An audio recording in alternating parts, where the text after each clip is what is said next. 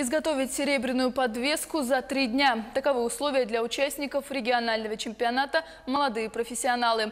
Готовое изделие эксперты оценят по разметке и выпиливанию, пайке, закрепке и общему виду. Шесть юных ювелиров приступили к выполнению задания в Якутском промышленном техникуме. Отметим, что в республике с каждым годом увеличивается количество участников.